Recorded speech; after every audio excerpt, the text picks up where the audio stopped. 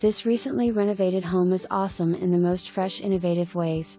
Sitting on a tree-lined cul-de-sac in GP School District. This 4-bedroom, 2.5 bath home has tons of space and is close to shopping, restaurants, schools and more. The kitchen is open and bright with gorgeous light fixtures, cabinets, countertops and recent appliances, including refrigerator. Just off of the open concept kitchen you will find a large pantry slash laundry slash sunroom. There are beautiful stained concrete floors through main entry, living areas, bathrooms and kitchen, not including the half bath and garage. There are white cabinets and doors throughout and the concrete counters in the main house bathrooms are so modish. This home will be a great place for family gatherings or simply relaxing. Owner's suite is large enough for a king-sized bed and the bath is a must-see. Check out the photos, the backyard is huge and the detached